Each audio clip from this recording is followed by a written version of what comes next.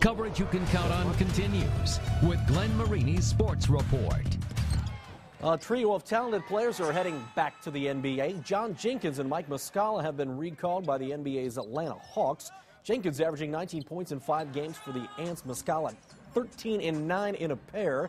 The Pelicans also recalled Russ Smith. He averaged 14 and a half points in two games for the Ants.